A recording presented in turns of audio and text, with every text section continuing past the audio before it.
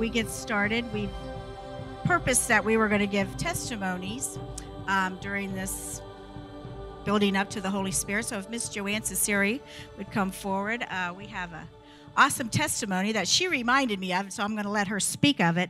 When we were in Nazareth, Israel, uh, one of our trips, we had the opportunity to be there for Shavuot with an Arab family, and she reminded me of the awesome time we had in the Holy Spirit and with others.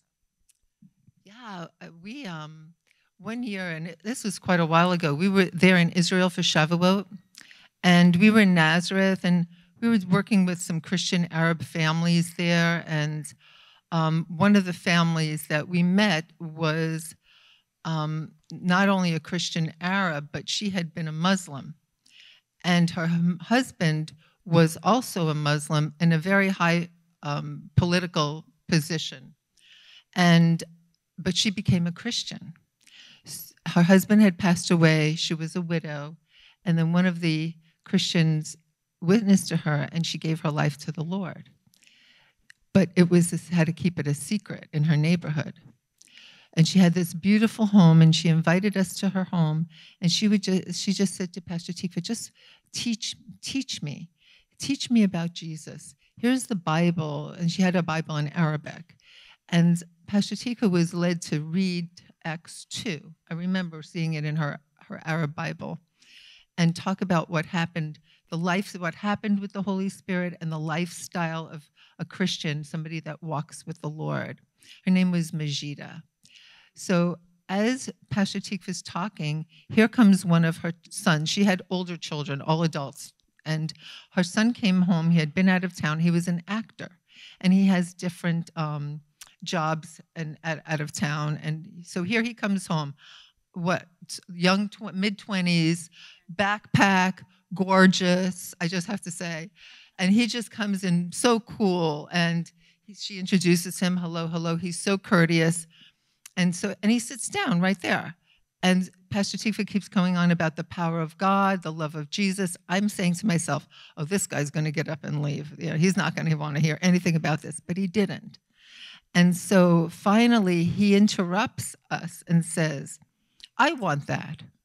I want this power to live a life. I need power to live a life on this earth. Life is way too hard for me. So here we are in this gorgeous living room, big, big windows around with shutters. You know, you just can imagine a very luxurious um, uh, spiral staircase. It's a very luxurious home. So, yeah, and for here, and most of Israel, and for here. So anyway, so he stands up and we, we Tikva says, Majida, come let's pray with your son. Tikva puts his hand on him. I put my hands on him, and we pray salvation. We pray the salvation prayer. We start with the beginning. Yes, he gives his heart to the Lord. I want the power, he says. So we start praying for the baptism of the Holy Spirit. Tikva starts praying only like, uh, like she can, that powerful, powerful Brandon prayers, you know. And with that, and this is Shavuot, and she says, This is Shavuot, this is the day. This is Acts 2. It happened this very day, 2,000 years ago. And we start praying. And with that, the wind came it so strong, it blew the shutters open, it blew the windows open, and the wind came through the house. Just like Acts 2. And Tikva and I are ready to go out in the spirit. We're like, and that life was those lives were changed that day that's the power of the holy spirit so that's why Tikva wanted me to share it she does it so eloquently you know so i wanted joanne to do it. But um, that's what it's all about. Power. Power. Not power for us in the flesh but power in the spirit. And i really feel like that's what we are really lacking. Not so much that we haven't been given it or we don't have it but I feel like we are not using the potential of that we should be walking in because of the Holy Spirit that is in every one of our lives if we have been filled with the Holy Spirit. So today is a message. Um, I doubled it from last week, so we're going to be two hours instead of one. No, I'm just teasing. But I had to combine some of last week's because it, it built, it, it flowed into what I was going to share this week. But one of the things that Judaism doesn't have that we have is this. Doesn't say it doesn't mean they don't love God, they don't have the Spirit of God, but they are, have not received the baptism in the Holy Spirit. And that's not a bad thing to say. And because the only way you can is if you know what? Yeshua. Because Yeshua and the Father, you have to know them together to know and have and receive the baptism of the Holy Spirit. Every person, especially you young people, because see, the young people sometimes don't wait till you get to be 30 and 40 years old to be baptized in the Holy Spirit. I got the Holy Spirit, I got born again, I got baptized in water, and I got the Holy Spirit all like within a year. So I've been walking in this for 42 years. Now, don't you think someone who's been walking in the baptism of the Holy Spirit for 42 years has something to share? I hope so, yes. so I got something to share with you today.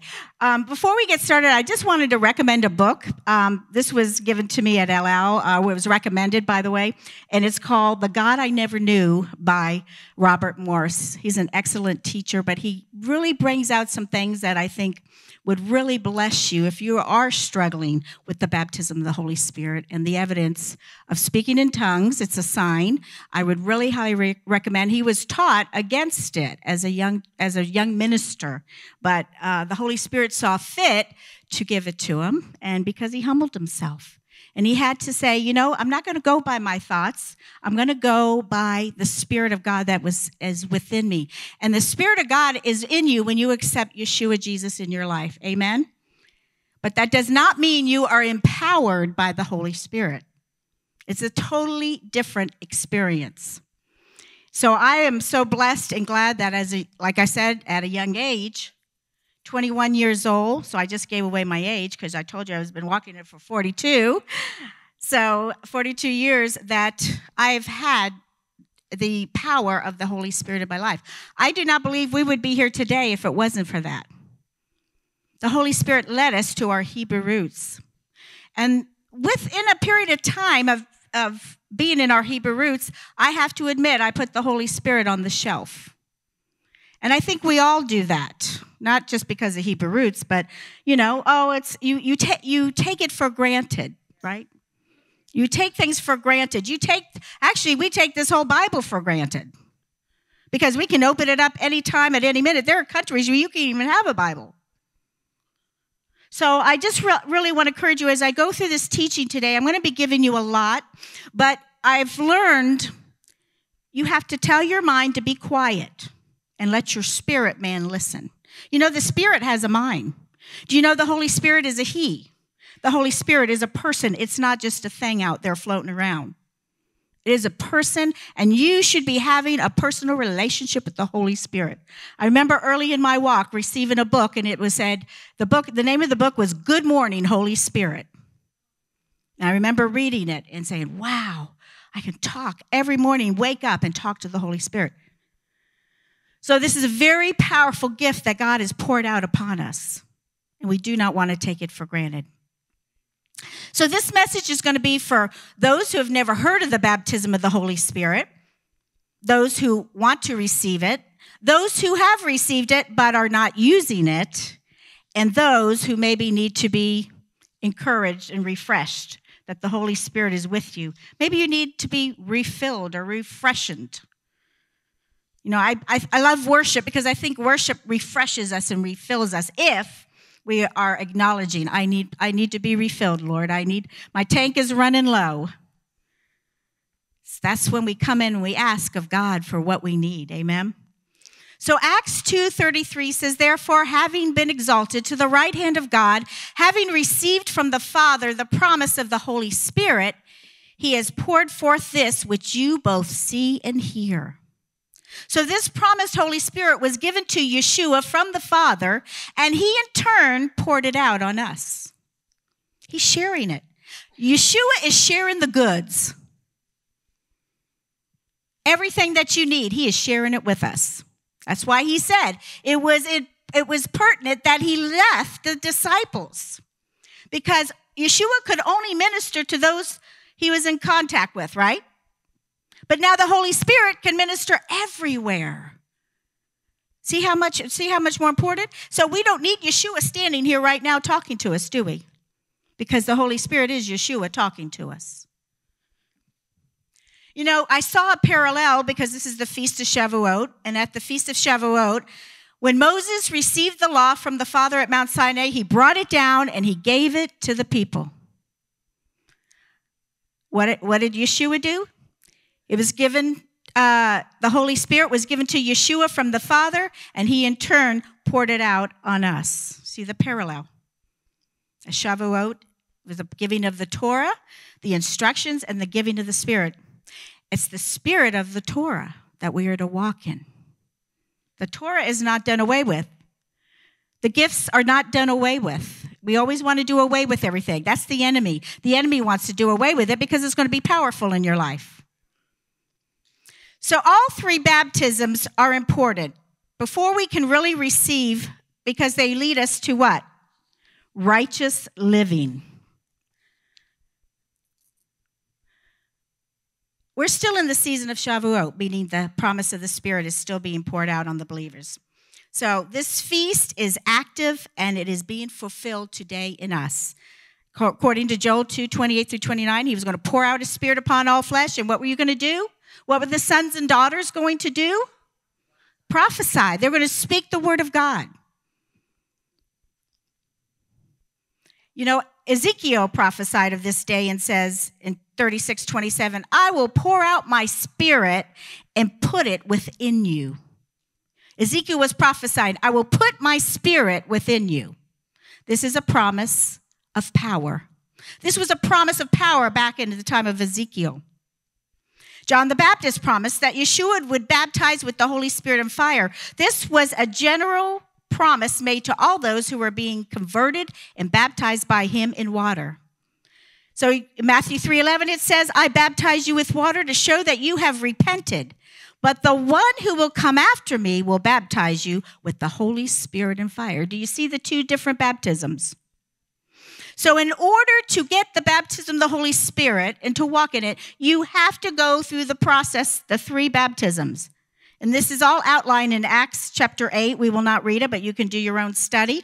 One, the baptism into salvation which is the outer court of the tabernacle, which brings you to God the Father, and it is the Passover. Number two, the next step is baptism in water for a new creation. It's the inner court, and you're baptized into the Son, Yeshua. And this is Shavuot coming up, brings us, it ties us into tabernacles, which is the baptism in the Holy Spirit and fire, which brings us to God the Holy Spirit of tabernacle. So you see the process of the tabernacle, how it goes along with our salvation, the salvation plan today.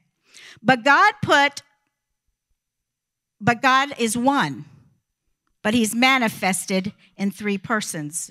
And how do we know that? Because if it's God the Father, God the Son, God the Holy Spirit, but yet Mark 12, 29 says, Hear, O Israel, the Lord our God is one. And I'm not going to get into the whole explanation of three being one. How can that be? We should we should that's common sense. We're three part beings. It's just you know it's not difficult. So this makes him a personal god. Where does the holy spirit come from the father through yeshua his son and i gave you acts 2.33 already on that so we see that all three baptisms are important. All three are instructions for righteous living. Now, we want to talk about Torah, but this is Torah too. These are instructions from the Father to give us as the new covenant believers so that we will be empowered to live this and walk this walk. The old covenant believers were not empowered in their inner being. There were times of being um, overshadowed by the Holy Spirit, but it didn't indwell them. So they were on their own. Then Yeshua came, and then the disciples said, Oh, we're on our own. Until what? They received the Holy Spirit, and they were power packs. We are not living to the potential that the Holy Spirit that we have that indwells in us. We are not doing that. And I am going to come up with some reasons why I feel like we're not doing that. Just like the Torah commands are for our good, so are these commands. Yeshua had a great work for us to do down through the ages. He knew they would that they and he could never do it in their own strength. He knew this. In Acts 2, he told his followers to wait until they received the power of the Holy Spirit, and then they would be his witnesses. Sometimes I wonder when people are not being a good witness for God, have they got the power to be the witness for God? You know, Yeshua's ministry never started till after he was baptized in the Holy Spirit. And really, either shall, either shall ours. In Luke 4:13, it says, when the devil had finished, and this is after he had just been baptized. He just went to, to the John the Baptist. He was immersed, and the dove came down upon Yeshua. And you know, the Holy Spirit, we always like to look at it as a dove, but once it came into Yeshua, it was a it was fire. It was powerful. But it came upon Yeshua and he was filled up. He said he did it to fulfill all righteousness. So, should we not do it to fulfill all righteousness? Absolutely. We follow him. He is our he is our rabbi. So in Luke 4 13, it says, So immediately after he had been filled, it says the devil had finished every temptation. He left him until an opportune time, and Jesus' public ministry started. So what happened is he came, the devil immediately was there to take that what happened to Yeshua being baptized, and he immediately took him and brought him into the wilderness to be tempted by the enemy. He was led into the wilderness to be tested. See what happens with us, we get filled or we get an experience with God. We have something awesome, and the enemy is right there to steal that. Of course, Yeshua passed the test because why? He was empowered. You cannot pass the test if you're not empowered. You might have to go around the mountain a thousand times. Hopefully not. Was it 40 times? Should be our limit. I think 40, I think by 40, if you've gone around the mountain 40 times, there's freedom because there was for Israel, right? So I've been around a lot of mountains and I've passed the test by now, I think, because I've I'm 42 years walking and going around the mountain. And there I can say there is freedom. There is freedom. So we see also in verse 14 and Jesus returned to Galilee. This is what happened. Immediately, as after he was tempted by the devil, his ministry starts because it says, He returned to Galilee in the power of the Spirit, and news about him spread through all the surrounding districts. And he began teaching in their synagogues and was praised by all. That's when he began teaching. But it says he went to Galilee what? In the power of the Spirit. I wouldn't do it unless it was by the power of the Spirit leading you. You know, a lot of times you say, Oh, the Lord told me to do this, and the Lord told me to do that. You better do it by the power of the Spirit. Amen? So, this power is a divine assurance of good. Don't be afraid of the power of the Holy Spirit. I've had people literally tell me, Oh, I'm afraid of that stuff. Even um, Robert Morris, Pastor Robert Morris said that a minister told him, if anyone talks about the Holy Spirit, don't, don't go there. And he was being led to be a pastor. I thank God that we had the power of the Holy Spirit when we started Beit Tehila here. I thank God. For those of you that might not know me, I'm Pastor Tikva and I'm the mama. We started this community because of the Holy Spirit led us here we wouldn't have, who wanted to start something new if it wasn't the Holy Spirit leading you? You know, you're gonna you're gonna be encouraged by the Spirit to share with people, to minister to people, to talk to people, but you better do it by the power of the Holy Spirit.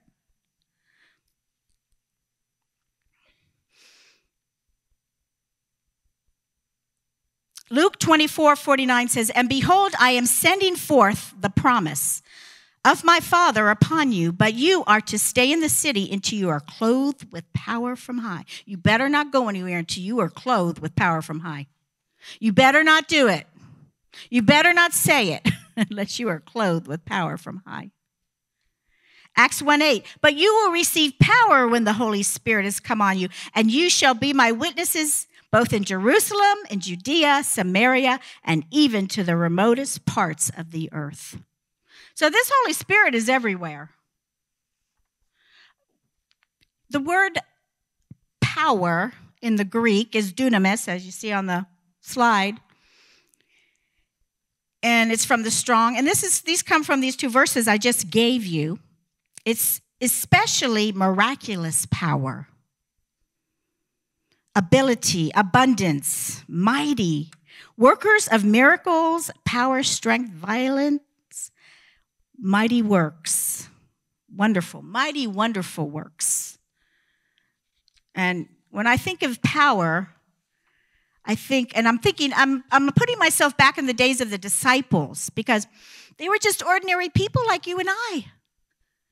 And Yeshua comes along and sweeps them off their feet, and they're so excited. And now he's, he leaves them and says, Get to work, basically. Get to work. Go work in my kingdom. Go work in my fields. Lay hands on the sick, and they shall recover, you know. Cast out demons, speak in new tongues. This was, he left him. He left them with these words. So the scripture are full, scriptures are full of promise and exhortation for us to approach God with a full confidence of faith to receive this promise. Remember, we receive it because we believe it by faith.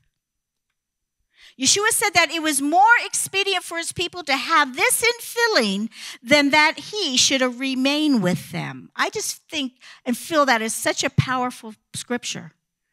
Because sometimes we get all caught up, oh, I wish Jesus was here. Oh, I wouldn't be in this mess if I had Jesus right by my side. No, he's more than by our side. Everything we need is right here. I, I and I, I, tell this, and I know it doesn't sound very holy, but it reminds me of the Wizard of Oz and Dorothy all along.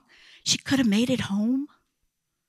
That's what it is with the Holy Spirit. All along, we had the power, and we didn't use it. Dorothy didn't use it. She didn't use her little red shoes and click them, or whatever it was that she had to do. I haven't seen that movie in years. But that's how we are. God has given us everything we need. Yahweh is such a good father. Such a good father. So imagine, you know, just like God's laws didn't end with the new covenant, um, the Holy Spirit and the gifts and everything that goes with it did not end with the last apostle. Please don't fall for that lie. It's a promise to all believers to the end of time. Amen. So just like God's law didn't end with the new covenant, the gifts is here for you to receive and use now. Imagine the Holy Spirit wants to fill your life with power greater than electricity. I saw that that first beginning slide, and the guy is standing there, and there's this fire like here. It's elect- it's it's greater than electricity. This power. I'm going to share a little bit about the whole electricity. So, power to do what is what? to power to do what is impossible. But you must learn to use it like faith. You must exercise it. You must start stepping out in faith, even if you mess up. I remember when the Lord gave, when I was given the gift, and still have the gift, but the gift of prophesying in tongues, I was so scared. I was so nervous. I was saying, there's no way I'm going to do that. I was not one that wanted to draw attention to myself. And I thought, if I speak out in tongues, everybody's going to look at me. If I prophesy in the Holy Spirit, everyone's going to look at me. Well, I mean, I was I was literally shaking in the Holy Spirit. I mean, my body was shaking. I don't know if it was out of fear or the Holy Spirit, but I was shaking because I felt this unctioning in my spirit to speak it. And I finally did. It was at a ladies' uh, retreat. It was a Women's Aglow. How many of you remember Women's Aglow years ago? And I just let it out, and I was just like, oh, and after it came out, the interpretation related totally to me. It was totally went hand in hand uh, with things in my life, and I knew that it was the Holy Spirit. And my, my fear wasn't that I wanted to do it. My fear was that I was not doing it out of because it was God. But I stepped out in faith and I did it. And Every time I've ever prayed or prophesied in the Holy Spirit, there's always been an interpretation because you're to pray for interpretation. Um, if not, you're to pray you interpret it. But I was always pray for an interpretation, and it had always been interpreted. But I was always cautious. I wasn't ready, quick to jump out. But there's this nervousness, but I had to exercise it. And once I started exercising it, it's not a problem. So, used in the right way, this power will bring glory to God and blessings to your life. How many would like blessings in their life? How, how many would like to see God be glorified? God should be glorified in this place.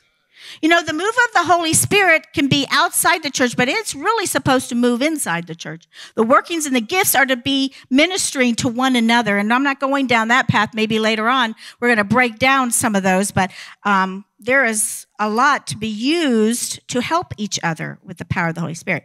Now, Power of any kind used in a wrong way will always bring trouble. And we know that with restoration and truth that God is teaching us, there's always the enemy to bring trouble, right?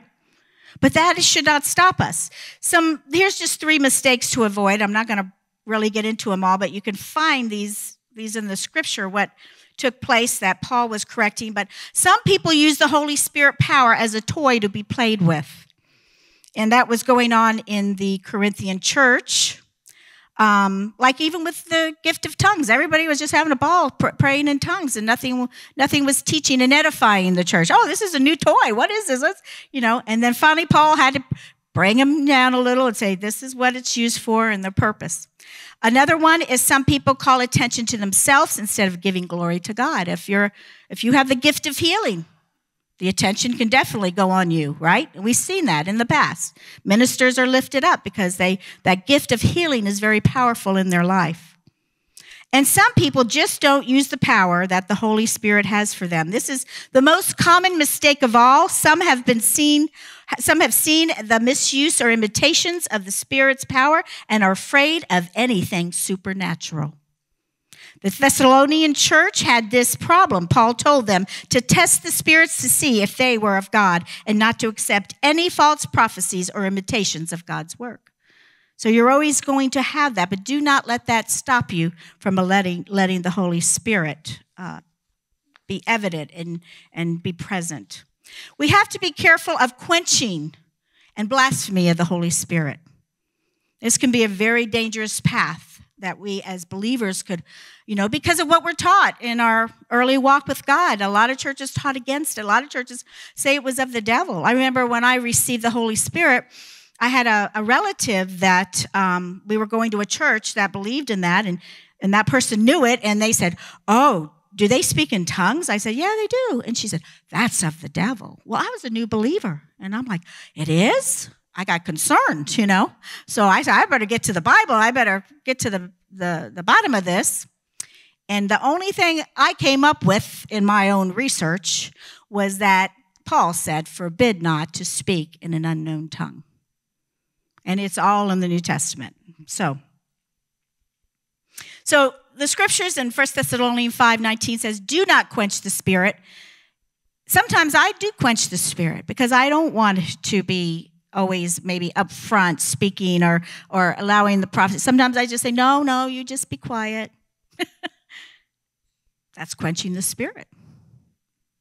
He wants to use people to speak. You know, he wants to speak through us. Sometimes you'll be one on one with somebody, and the Holy Spirit says, Tell them this. And you quench it and say, No, I'm not going to tell them that.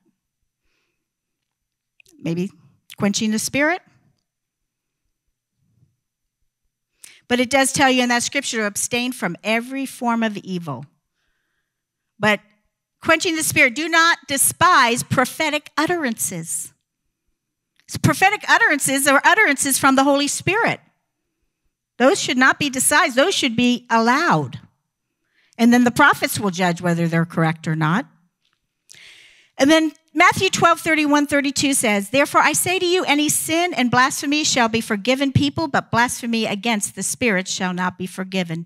Whoever speaks a word against the Son of Man, it shall be given him. But whoever speaks against the Holy Spirit, it shall not be forgiven him, either in this age or in the age to come.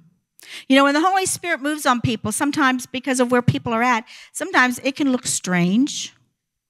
Do not judge that unless it's something evil coming out of that person but because maybe they're run around the church like our brother Paul here does, you know, a few times every once in a while. And maybe because you jump up and you get excited and maybe, you know, you start praying in the Holy Spirit. I don't know. That's those are things that you want to be careful not to judge.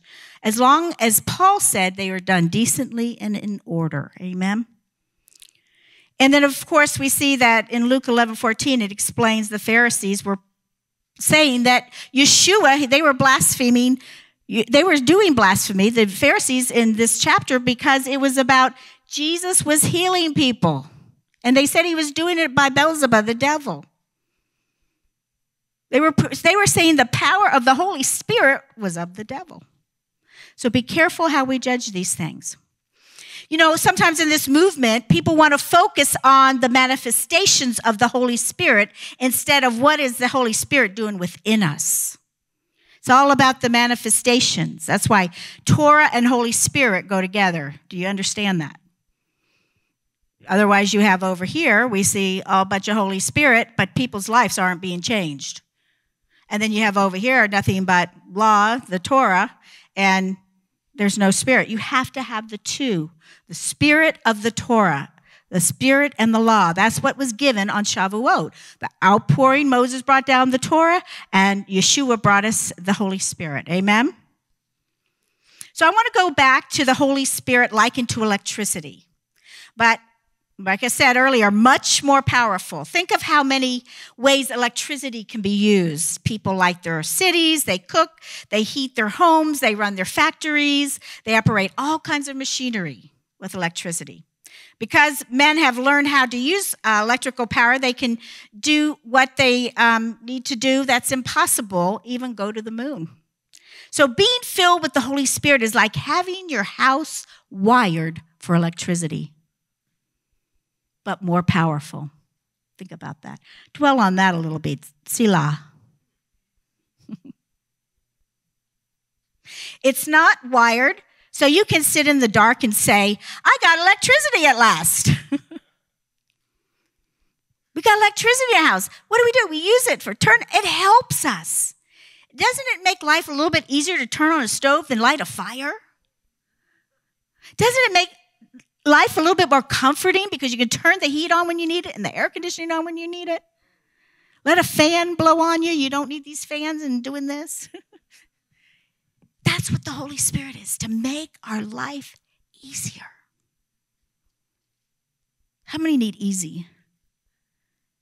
Simple. God never meant it to be complicated and hard. No, we've complicated it. So, being filled with the Holy Spirit is like having your house wired for electricity. Turn the lights on, everybody. Use the God given power. Amen. The Spirit gives you Yahweh's pattern for right use of the power of the Holy Spirit. I want to start to give you some of the purpose and the and uh, the power of the Holy Spirit. You know, the gifts and all that, they're great, but we don't want to just zoom in on the gifts. Those are just, they help us. But I want to zoom in on really the purpose of this Holy Spirit. Number one is holiness. Galatians 5:22 but the fruits of the spirit is love and joy and peace patience kindness goodness faithfulness gentleness self-control. Against such there is no law. Why? Because you're doing it. Now those who belong to Christ Jesus have crucified their flesh with its passion and desires. If we live by the spirit did you notice? If we live by the Spirit. You got to choose. If we live by the Spirit, let us also walk by the Spirit. And let us not become boastful, challenging one another, and envying one another. If we have envy, if we have issues, if we allow the Holy Spirit to come in, it will straighten that up. If we allow the Holy Spirit that is within us, it empowers us to walk in forgiveness. You know, do you ask the Holy Spirit, Holy Spirit, help me to forgive? Give me what I know you've given it to me, just help me with it. Help me with it, Holy Spirit. Help me not to envy and covet what my brother has. Let, let me be happy for them and bless them. So, the power of the Holy Spirit in the early believers made their lives clean and good in a civilization, in a civilization noted for its crime and corruption. They could be clean, they could be holy, even though the world around them was dirty and corrupt. That's the power. That's a real, to me, important power of the Holy Spirit. Amen? And then hope, peace, and joy. Righteousness, peace, joy in the Holy Ghost. Righteousness, peace, and joy in the Holy Ghost. That's the kingdom of God. I love that song. You haven't sang that in a while, Susie. Got to sing that. So, Romans 15, 12 through 14. Could you open that, please? Um, it says, again, Isaiah says, There shall come the root of Jesse, and he who rises, arises to rule over the Gentiles. In him shall the Gentiles hope. Whoops, sorry. Can't do two or three things at once, can I? now may the God of hope fill you with all joy and peace in believing, so that you will abound in hope by the power of the Holy Spirit. There you go with the power of the Holy Spirit. You need hope, you need peace, you need joy. Ask the Holy Spirit. I need joy right now, Holy Spirit. I am I am not with it. I need your joy. I right now I'm in turmoil and I need some peace right now, Holy Spirit. The Father says you have not because you ask not. All along, it's right there, available for us to help us. So the Holy Spirit gave the early believers hope of what? Eternal life. An inner joy and peace that made them sing and praise God when they were beaten and thrown into jail for Christ's sake. The next one is love. You know, we just can't walk in the love of God without the Holy Spirit. You know, we talk a lot about love, we got a lot of talk about love, but are we living it and are we walking it? 2 Corinthians 4 7 says, But we have this treasure in earthen vessels, so that the surpassing greatness of the power will be of God and not for ourselves. We are afflicted in every way, but not crushed, perplexed, not despairing, persecuted, but not forsaken, struck down, but not destroyed, always carrying about in the body the dying of Jesus, so that the life of Jesus may be manifested in our body. For we who live are constantly being delivered over to death for Jesus' sake, so that the life of Jesus also may be manifested in our mortal flesh. Think, think of the disciples when they were persecuted, and, you, and Stephen just, how could he do that? How could they just allow themselves to be persecuted and spit on and, and not fight back? The Holy Spirit.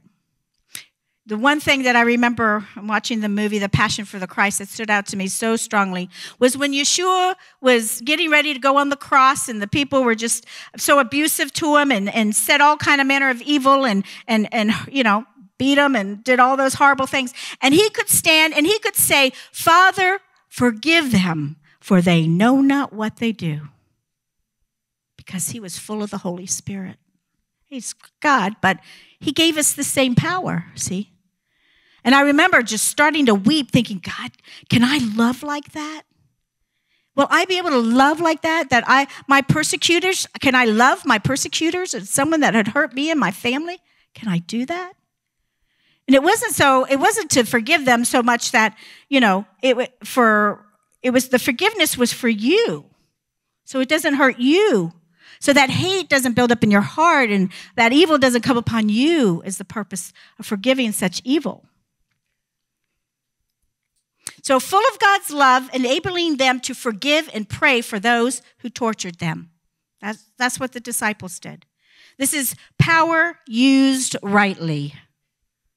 The power should not be used to bring attention to yourself and glorify yourself. Oh, look at my gift. Look how great I am. Look at I can and look at I can lay hands and you'll be healed. No. You should be more humble. You should be more humble when you have a gift that powerful. And I think that's why we're not seeing the gifts as powerfully as we should, because we're not humbled enough. God is trying to humble us. He wants us to walk in this power. So they had a powerful message. They gave it with powerful personal conviction, the, the early disciples. They have powerful conviction. They, they shared the word with others with such conviction. That could only be from the Holy Spirit in working in their life. They spoke with wisdom and logic and courage beyond their own abilities. Power that convicted their hearers of the truth and convicted them of sin. They had a powerful faith. They knew that God was with them and w- would work through them as he had promised. Like Yeshua, he commanded paralytics to walk, and they did. They prayed, and things happened. Sick people were healed, prison doors opened, demons fled, and multitudes of sinners turned to God. I don't know about you guys, but we need a move of the Holy Spirit like this. Not a move of us just getting a good feeling but a move, a true move of the Holy Spirit. It's going to take the unity of the body of Messiah. It's going to take prayer, it's going to take intercession. Are you willing to work for that? Are you willing to do the work that God needs us to do to see a move of the Holy Spirit? Before the great and coming day of the Lord. When He comes, it's going to be a terrible day. You're going to need the Holy Spirit. Revelations tells us, and I don't want to be a bearer of bad news, but there are going to be some martyred. There are some already being martyred, terribly martyred right now in other countries. Do you think it's America is exempt from such things? And I don't want to meditate on that, and I don't want to sit because I believe His grace will be sufficient for the time of need. When the need is there, do you think on it now? You think, could I do that? Absolutely not. I couldn't do that. If your child was being hurt and persecuted in front of your eyes. No, right now I can't. But you know what? When the time of need is, the grace will be sufficient and the power of the Holy Spirit will be present to take care of every situation. This is why we need to be meditating and praying and seeking God for his power. So, this power in the early believers made them witnesses, just as Yeshua had said. They had the boldness and the urgent desire to tell other neighbors about Yeshua. Are you telling your neighbors about Yeshua today?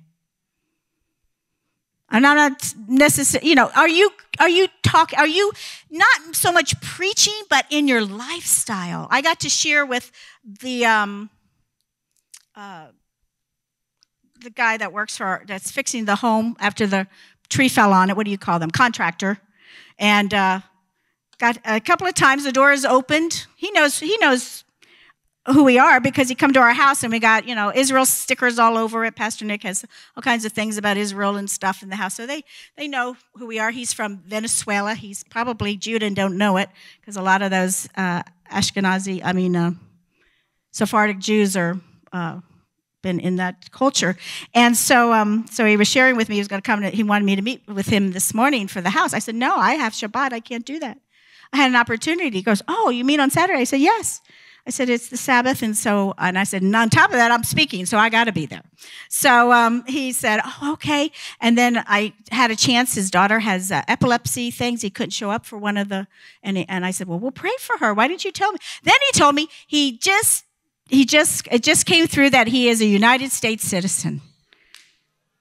I said, because he said he went through so much trouble trying, he went six months of stress of trying to get his citizenship, and he made it. And I said, Why did you tell me we'd be praying for you, you know? And um, he was like, Really? And I said, Of course. So things like that. You don't have to just open your Bible and start preaching to people, but just let your light shine. Start. You don't know where they're at. And such a such a door of opportunity is around us every day, even when you go into restaurants and you know, we're we're so all over out there, right? Uh, we don't just sit at home, right? We go to this, the kids' schools, and just oh so so many places to be a witness and light of Yeshua and show the power of the Holy Spirit. So they had the boldness and urgency and desire to tell their neighbors. They're, they had courage, love, they had a great vision, total commitment to Christ drove them on from town to town, from country to country. This was the power of the early church. They had to walk from town to town to country and country. We can drive and sit in purple seats, and we can't do it. but we are doing it. Hallelujah. But it's a struggle, isn't it? Unless we allow the Holy Spirit to speak to us and talk to us and lead us and guide us. Their power then was the power of the Holy Spirit who filled them and worked through them. What they did was the natural outflow of the spirit filled living. It came naturally. If we Like that scripture I shared. If you walk in the Spirit, you will not fulfill the lust of your flesh. Your flesh doesn't want to do the things of God. The lust of the flesh wants to do fleshly things. Godly things, spirit filled things, are like coming to Shabbat and worshiping Him, and prayer and praying.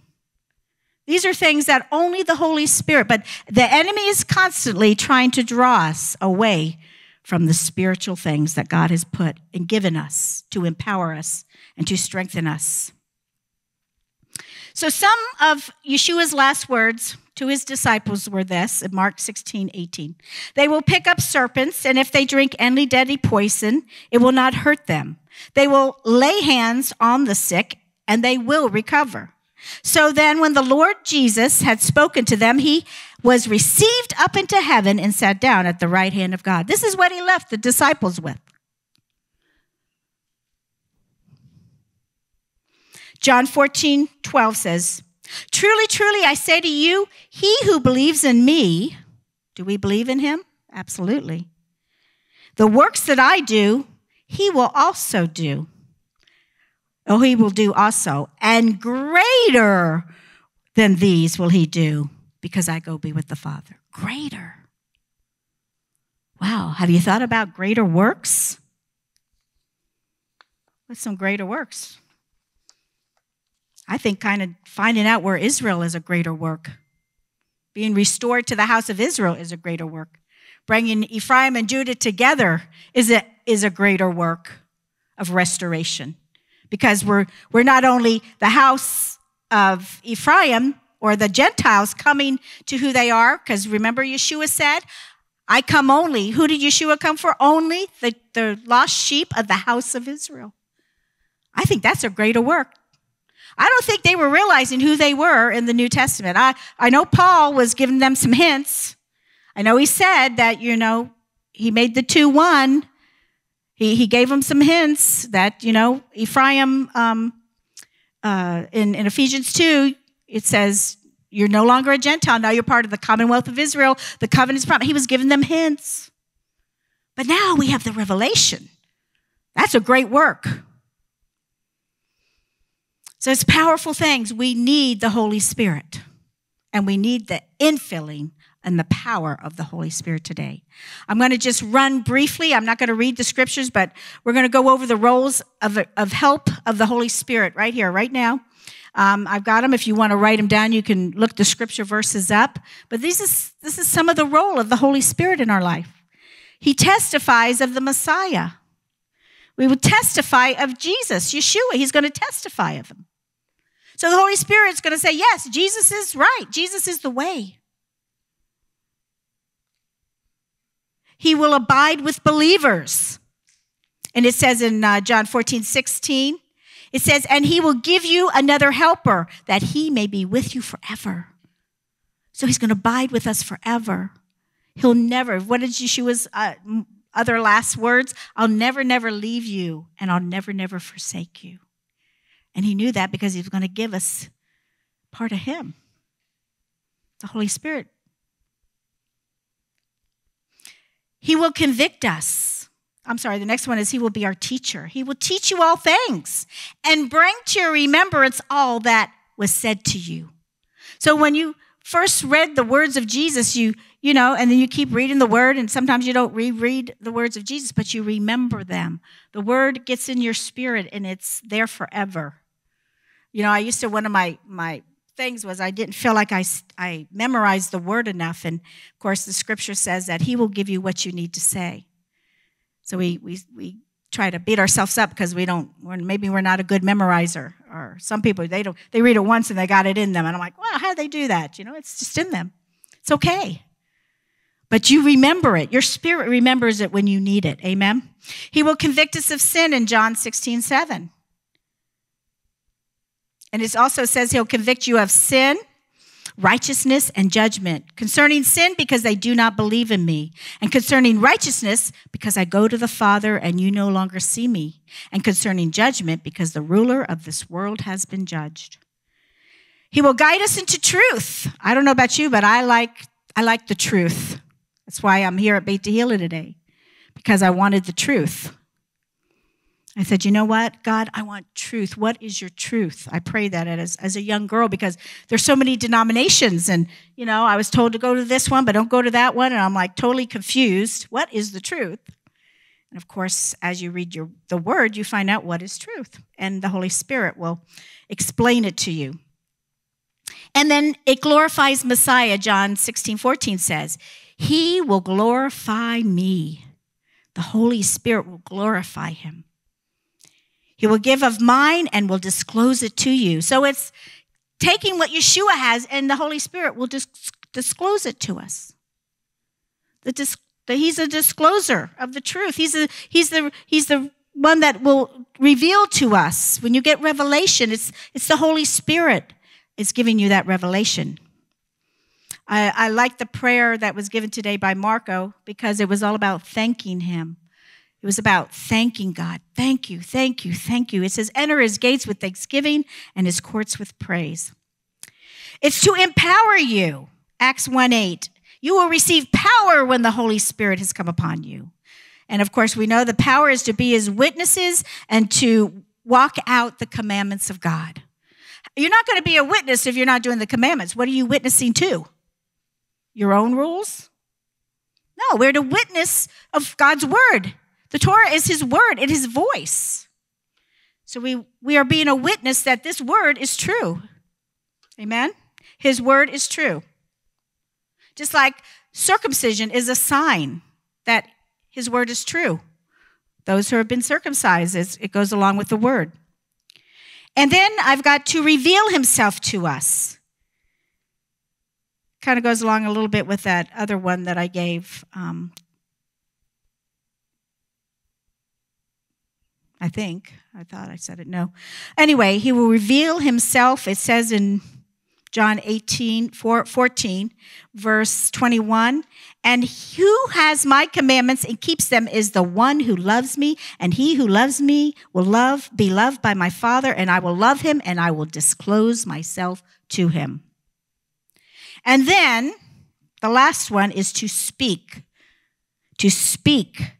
Moses was afraid to speak. Jeremiah was also one who said he was just a child. And Paul was an eloquent, eloquent of speech. We would all kind of make excuses, right? Unless you're just born with this ability to speak really well, get up there and talk without any notes in a Bible. And just sound so great. But all these men were inadequate. And women too, I'm sure, as you study out, women, you know, they went around, they shared the word. So we, there's an inadequacy, but with the Holy Spirit, you're not inadequate. Do you get it? The Holy Spirit will speak. It says in, I'm going to read this one, Luke 12, 11. When they bring you before the synagogue and the rulers and the authorities, do not worry about how or what you are to speak in your defense or what you are to say, for the Holy Spirit will teach you in that very hour what you ought to say. Boy, that's comforting. That's comforting. Now you know why he's called the comforter and the counselor. But you know what I love is there's more help. There's more help. And we're going to go on to the gifts of the Holy Spirit. And for those that you want to do your own study and understand the gifts, go to 1 Corinthians chapter 12. And I'm just going to kind of go through them real quickly here. We know also in chapter 14, you got chapters, uh, 1 Corinthians 12 and 14 are probably the two that, and 12 through 14, that expound on these gifts. And we know that the superior gift, of course, um, is love. But let's uh, go down this list of the gift of wisdom.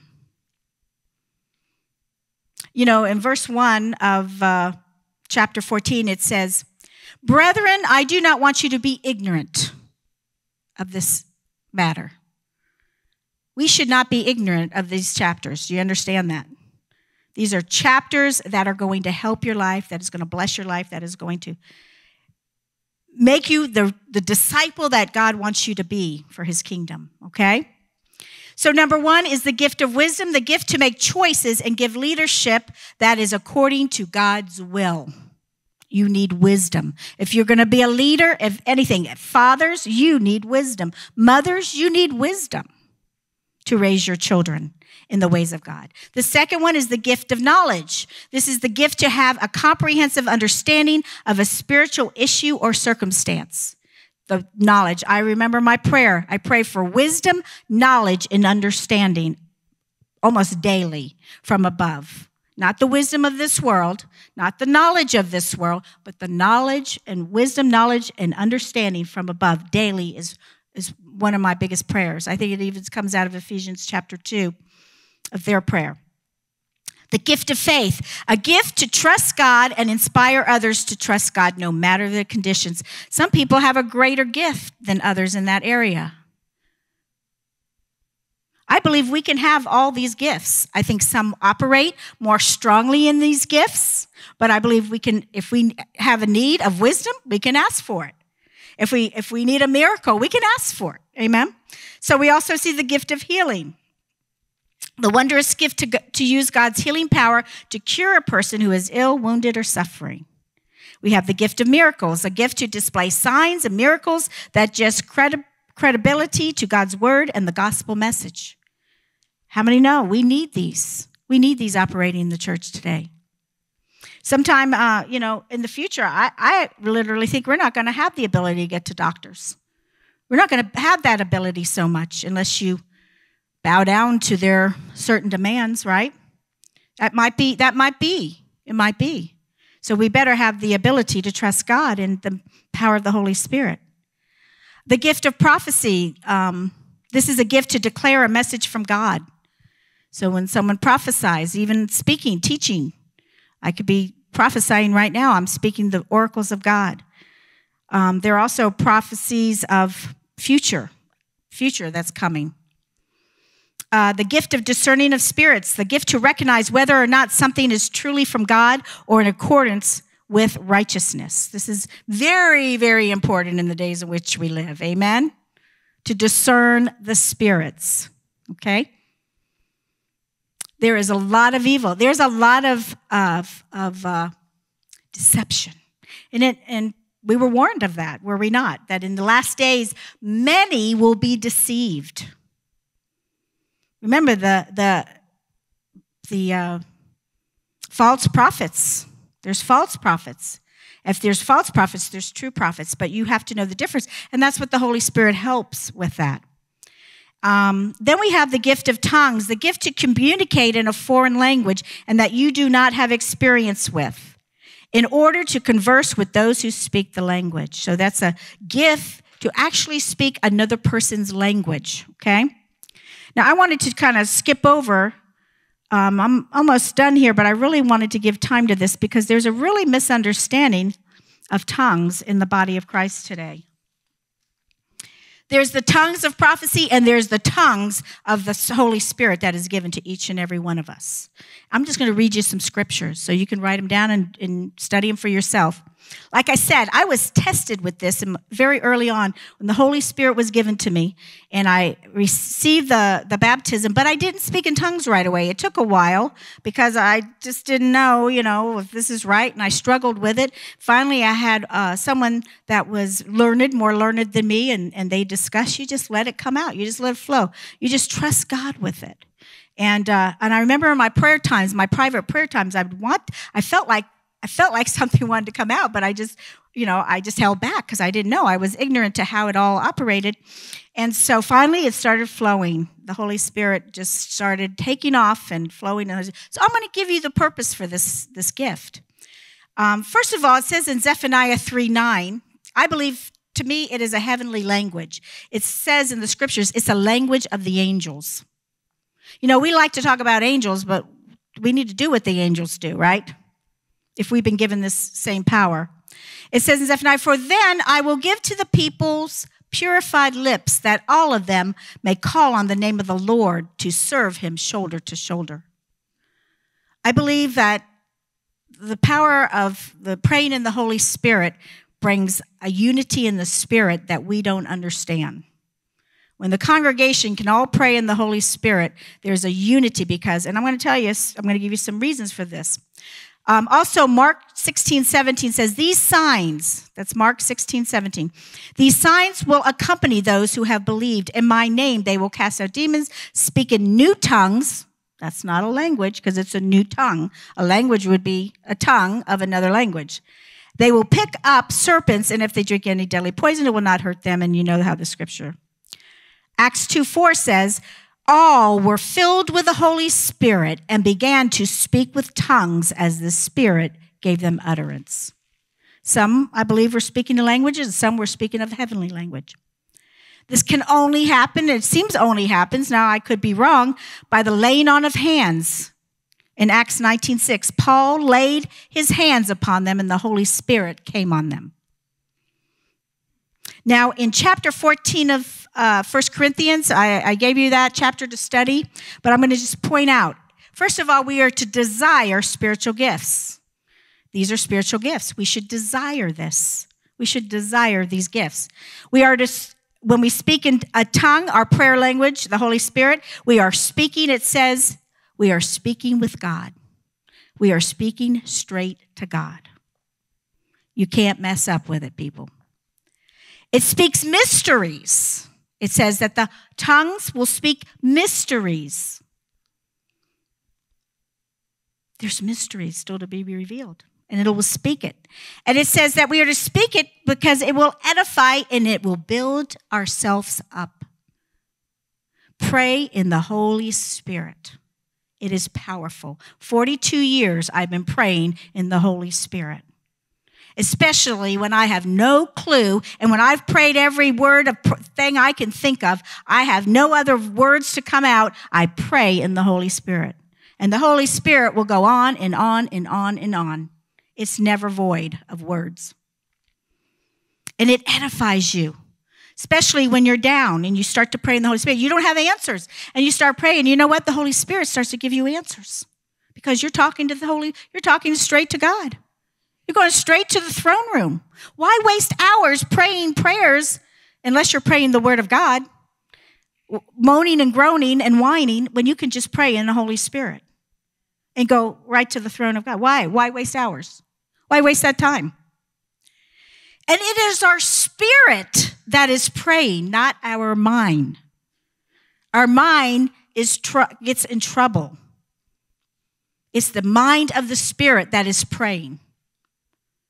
We think, oh, well, I got a mind and God gave me a mind. I, I just do whatever my mind says. No. Your mind and your thoughts. How many people did horrible, horrific crimes and said, I had voices? If that voice is leading you against the word of God and, and the things of God, it is not the voice you want to follow. Amen? That's a discerning of spirit right there. Ephesians 6:18 says, "With all prayer and petition pray at all times in the spirit." Doesn't say pray in the understanding or in the mind. It says pray in the spirit. And with this in view, be on alert with all perseverance and petition for all the saints. This is how we're to pray for one another. You know, we have prayer here on Mondays, and sometimes we go through a whole long list of the people's life and their issue and we spend all this time and i'm not against letting out what we're struggling with but you know what? We don't have to go through all that. We put that name before the lord and we pray in the holy spirit and it'll get done.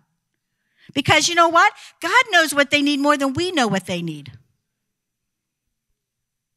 Spend more time praying in the holy spirit. I cannot i cannot push this enough because i know it changed my life changed my prayer life Jude 120 said, Beloved, building yourself up on your most holy faith, praying in the Holy Spirit. How do you want how do you build yourself up in the faith? Praying in the Holy Spirit.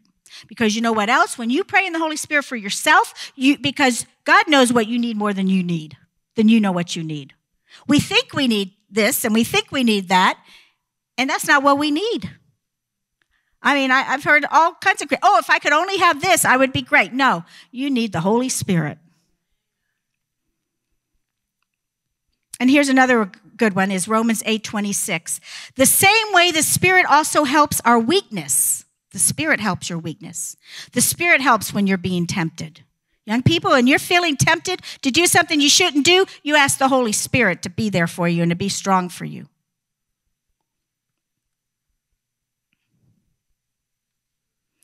It says, For we do not know how to pray as we should, but the Spirit Himself intercedes for us with groanings too deep for words. I'm going to read that again. There's no words. Did you get that? There's groanings. Have you ever groaned in the Spirit before? I have. And it was for deep intercession for something. I was completely clueless. And I remember one time just groaning and deep. And you know what? It was, I had just got done dancing to Shalom Jerusalem. The Lord wanted us, we were at a conference and we were asked to do a dance, and I could not choreograph anything to that dance as far as a group of us. And but I had been listening to that song, and as soon as it came out, I would just listen to it and listen to it because I, I just connected to Shalom, peace, Jerusalem, pray for the peace of Jerusalem. And it just grabbed my heart. I remember, I can just remember myself just listening to it over and over. And God said, I want you to dance to that. And the dance was basically just twirling. And I got off and I walked down the aisle to go back where the rest of the dancers were. And this groaning just came over me of intercession. And I looked up the scripture and, uh, it's almost as if you were in childbirth. Now, somebody could judge that and say, that's weird but it was the Holy Spirit. And the Lord showed me afterwards I was interceding for Jerusalem. And right, not too long after, right, right after that, there was an attack on Jerusalem. There was an attack going on in, the, in Israel. But I had no clue. I've never, I never experienced that before. But I was sensitive enough to the Holy Spirit to let Him use me. I thought it was just to do a cute little dance. No, He wanted me to do it for intercession to intercede for Israel and for what was going. It was a two-house conference, and it was powerful intercession going on through the whole conference. Another area is pray. The Bible says pray with both mind and spirit. So the, the tongues is a way of praying in the spirit. It says, I will pray with the spirit, but I will also pray with my understanding. I will sing with the spirit, but I will also sing with my understanding. So there's spirit singing and there's understanding spirit singing. Hello? Do we get that? That means there's a singing that doesn't make sense when we sing it, but there's a singing that makes sense when we do it with our language. I don't see that going on here much at Beit Tehila. I believe we need to start singing in the Holy Spirit as, as corporate singing corporately we start to sing and let the holy spirit because he's going to do things that you I'm, I told, I'm telling you he is going to move in your life he's going to move in this congregation and he's going to move on us to get to the next level of the plan of god for us. We give thanks to god in the spirit when we pray in tongues it says. This is chapter 14 i'm, I'm giving you chapter 14 it says that we give thanks to god. So when you don't feel like thanking god you pray in the spirit and you know what? It'll thank god for you your spirit will naturally start thanking God because the spirit knows better. And then it says, and Paul spoke in tongues more than anyone else. He was proud of it. I'm proud of it. I can't say I speak in tongues more than any of you guys, but I'm proud to speak in tongues. I'm proud to pray in the Holy Spirit. I'm not ashamed of it. We should never be ashamed of it. And then, of course, the bottom line was forbid not to speak in an unknown tongue. So we have all these gifts. The next gift is, it's not on the nine gifts, but some count it in with the gifts. It's the gifts of administration, the gift to keep things in order and in agreement with God's principles, and the gift of helps. It's a gift of desire and capacity to always help others and to do whatever it takes to get a task achieved. We have so much help. And then we have the nine fruits of the Spirit. Wow. Love, joy, peace, patience, kindness, goodness, faithfulness, gentleness, and self control. And against such, there is no law. Does that mean the law is done away with? No, that just means you're walking in the law. What the law was all about. So, guess what, everybody? We are in the season of Shavuot, Shavuot. The new early church started that season of Shavuot, and it's still, it's still going on until Yeshua returns. The giving of the Holy Spirit is still available to everybody. More of the Holy Spirit is always available. He said, I'll never, never leave you, never, never forsake you. We need this power manifested in our lives today. We need all the help we can get, and Yahweh has given it to us. He didn't leave us as orphans without any help. You know, I don't know about you guys, but I want to hit the mark. I've made it and purposed in my heart that these last years of my life, how long that might be, I'm going to hit the mark. I'm not going to play around. I'm not going to let Satan rule my life because he's a liar and he has no power and authority over me. And he, God has given me all power and authority over every situation. Um, it doesn't mean that because you have the Holy Spirit, situations aren't going to happen. Situations are going to come because God wants you to use the Holy Spirit. And they're going to keep coming until you start using the Holy Spirit. So I want to hit the mark. And remember this that the Holy Spirit will never be forced on anybody. You have to receive it. It's receiving it by faith. It's, it's a free gift. It doesn't cost nothing. I'm not going to make you come and bring a tithe up here or, or offering up here in order to receive it. It's freely given because God knows we need it.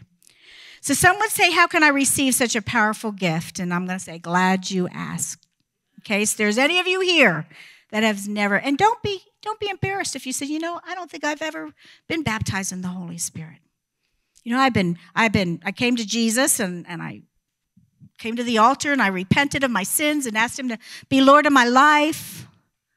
And then I remember having baptism in water. By the way, if any of you need to be baptized in water, we baptize in water here. It's not something we teach every week, but you know, you can be baptized in water. If you have children that have accepted the Lord, just call the office and uh, they'll set up an appointment to be baptized in water because every step is important.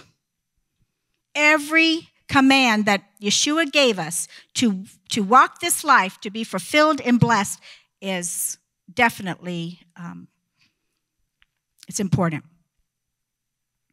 So, this is the only thing I would say to you. There's just a few little things that you need to do. First of all, you must be born again. If you're not born again, if you have not, your spirit and God's spirit have not met and connected that there is a God and his son is Jesus, Yeshua, HaMashiach, that he died for our sins because we all need a sacrifice, you can do that today. We're going to have an altar. We're going to have an old fashioned altar call today. The Holy Spirit says you're going to have an altar call.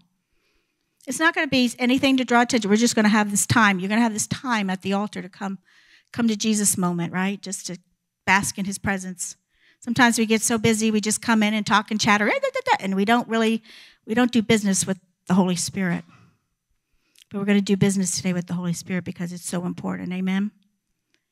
And I want those who, if you don't feel led to come up, you be in your seats and you be interceding. If you have the gift of tongues, you pray in the Holy Spirit. Because these are these are people's lives.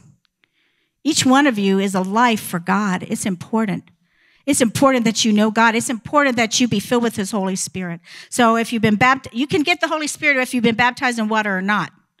But you definitely have to have, have repented and, and come to, to the Father God through your, the Son Yeshua. Amen? That's be born again.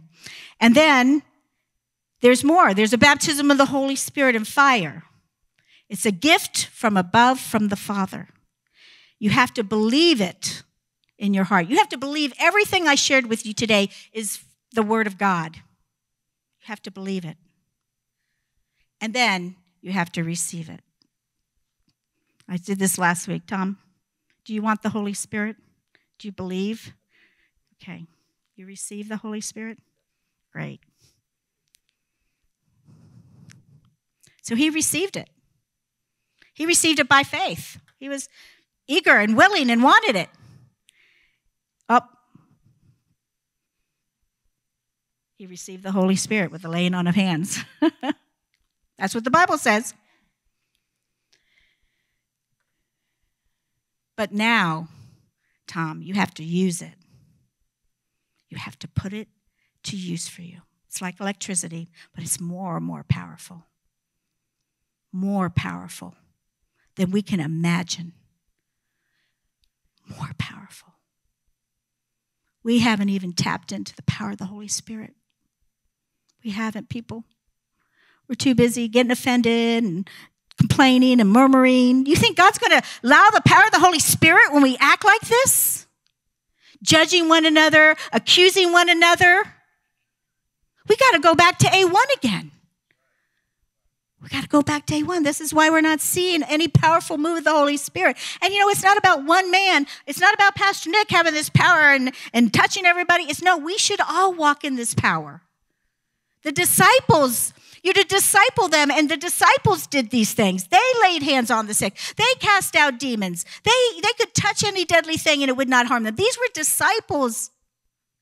They weren't the apostles. They weren't the main leaders. They were just everyday people like us.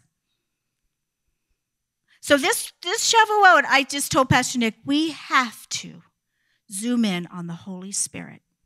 We have to. I encourage everyone today to start. If you have the gift of tongues, use it. If you don't have it, you pray for it. If you pray for it, you don't use it, you just start letting whatever comes out come out. If you've been baptized in the Holy Spirit but pray in the Spirit. I'm just telling you, I believe it's a word from, from God that is, is telling uh, every single one of you. And it's not to bring attention to you, it is that is a gift and it's powerful. It's going to edify you, it's going to encourage you, it's going to bring you into, it's going to do everything that you, need, that you have need of. That easy, that simple. Now, right now, remember, be born again be baptized in water. This, this, is, this was my, my five things to um, being an overcomer. I taught this, I think, one time when I was here visiting. Five things you need to be an overcomer. You need to be born again, baptized in water, filled with the Holy Spirit, in the Word daily, and serving. To some whatever capacity you can serve. Maybe your serving is just sit here on Mondays in prayer and praying in the Holy Spirit. That's not a hard task. It's not a hard task to take that time even at home and pray for the saints. It said pray for the saints.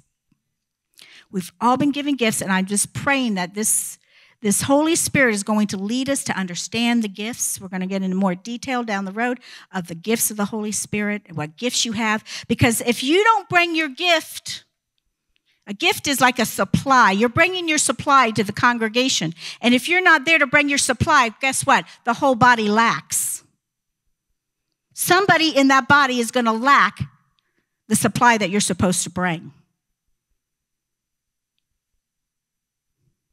Maybe it's the gift of healing. Maybe it's the gift of someone needs a miracle. Maybe somebody needs a miracle in their checkbook, in their finances, miracle in their home, in their family. God is a he's a miracle working God. He's powerful.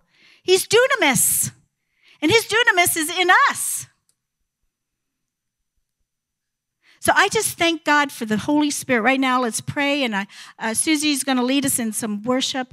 And I just really feel the Lord is saying to us just to listen to his voice right now. We're going to take, I don't know, 10, 15 minutes, however she feels led by the Spirit.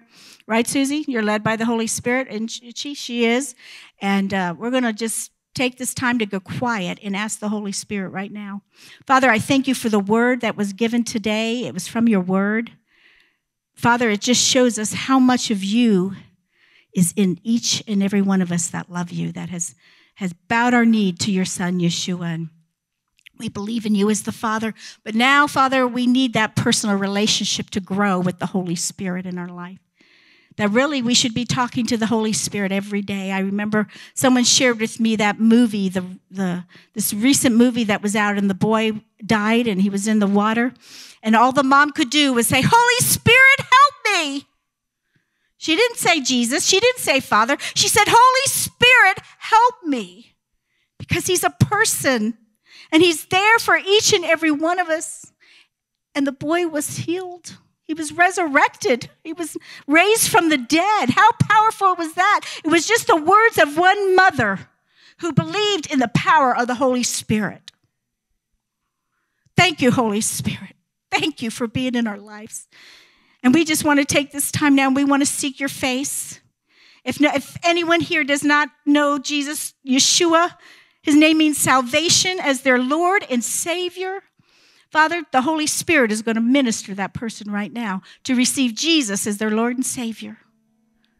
And they're going to come up to this altar and they're going to thank you because you're going to lead the rest of their life from here on out. You're going to lead them to righteousness. And it's going to be a battle, but that's okay because you, by the power of the Holy Spirit, will fight the battle. They not only, once they accept Jesus, they can even ask for the Holy Spirit at the same time, and it will come and it will just empower them and engulf. So they don't have to go through all these other steps of running around the mountain. Thank you, Holy Spirit. Thank you for saving our souls. Thank you, Yeshua, for coming and dying and giving your life for all of us. We are, oh, overwhelmed by such love, such love for your children, such love. Thank you, Father. Thank you. And Father, and move on people's hearts to be baptized in water because after they come to Yeshua, they're supposed to get immersed so they can be cleansed from all the past. It's a, it's a coming up and refreshing of that you were made new and whole and cleansed, where you can start this journey fresh and new without all the past hanging on us. Thank you, Holy Spirit. Thank you, Father. And then, Father, the Holy Spirit, baptize your people in this power and the fire. The fire is good for us who know you, but the fire is bad for those who do not know you. But your word is like a fire, a refiner's fire. You're refining us because you are making us like that, that basket of the Omer, the first fruits, Father, that belong to you, that are set apart for you, Father. We want to be the first fruits. We want to be those people, Father, that you're refining. I know it's painful and I know it hurts, but Father, we're going to submit to it because we're going to trust you. We're going to trust you to do this work in us, Father, that we can be the people that you've called us to be. So thank you, Holy Spirit. Thank you for touching us. We're serious, Holy Spirit. We are I am serious. I believe I believe everyone here is serious. Are you serious with the Holy Spirit today? Are you listening to him right now? He's speaking to your hearts. He's telling you, I'm here. I'm here for you. I'm here for you. Thank you, Holy Spirit. So I just encourage you to come to the altar and let the Holy Spirit minister to you. Coming to the altar is a sign of your humbling yourself and you're saying, I'm here, Holy Spirit. I'm here. Don't let the enemy tell you not to come. Do not let the enemy. We should all be at this altar. Shouldn't even be a, a it's choice. we should be at the altar, even if it's just to thank Him for giving you everything. I believe some of you need to be refilled that you are lacking, that you have used it up and you haven't you haven't allowed the Holy Spirit to be recreated. You're not letting the, the words of, of the messages minister to you. You just come and do a duty and you're not serious to grow in the things of God. You're just you're just here to be here. Come to the altar. Let the Holy Spirit minister to your spirit. Let him touch it. Let him fill you. Fill you with overflowing.